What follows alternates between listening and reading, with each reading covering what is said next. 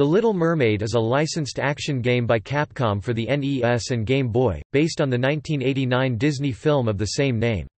It is a single-player side-scrolling action game where the player controls Ariel on a quest to defeat the evil Ursula, the Sea Witch.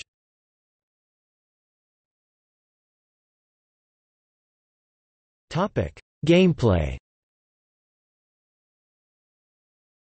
The game begins underwater, where Ariel can shoot bubbles to trap her foes and throw them.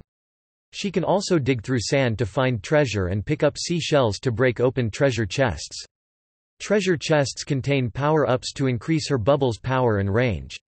Ariel can collect icons scattered throughout the levels to restore health, gain extra lives, or increase the range, power of her bubbles. There are six stages that Ariel must traverse to find Ursula. The stages are the Coral Sea, Sunken Ship, Sea of Ice, Undersea Volcano, and finally two battles at Ursula's castle.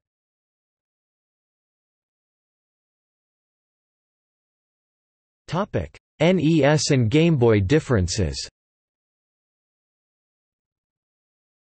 When a stage begins, Ariel descends from the top of the screen to the recommended starting point in the NES version, but just starts out in the recommended position in the Game Boy version.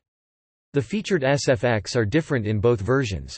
The start of the stage's BGM can be heard only once in the NES version, although the whole BGM can be repeated in the Game Boy version.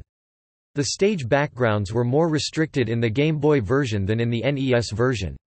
When the player loses a heart, the heart turns into a heart frame in the NES version, but disappears in the Game Boy version. The key scales of the boss BGM are different in both versions. The BGM speed in the NES version is much faster than in the Game Boy version.